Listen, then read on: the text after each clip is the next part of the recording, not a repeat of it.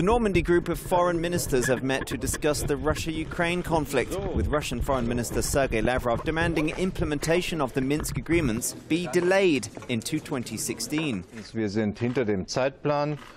We are behind in schedule, and ahead of us are a few difficult tasks. The difficult tasks are especially those which affect the so-called political process, meaning the preparations of elections in eastern Ukraine. in der Ostukraine.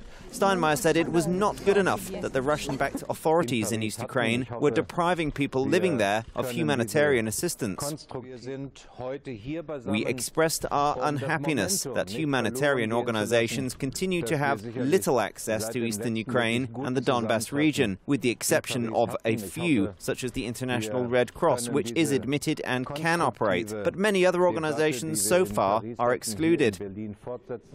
Arseny Yatsenyuk, Ukraine's prime minister, expressed frustration that Russia had not complied with the Minsk protocol. Under the terms of the Minsk ceasefire deal, Russian troops must have left East Ukraine, and Russia must allow Ukraine to regain control of its border before free and fair elections under Ukrainian law can be held.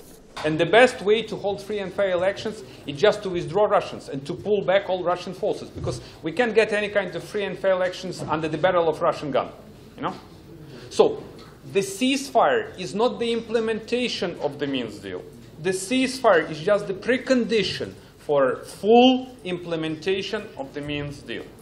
Talks come as the ceasefire begins to look more and more vulnerable. Russian-backed militants are claiming the Ukrainian army fired Grad rockets several times this week, and Ukraine has reported an increase in attacks against its defensive positions in recent days.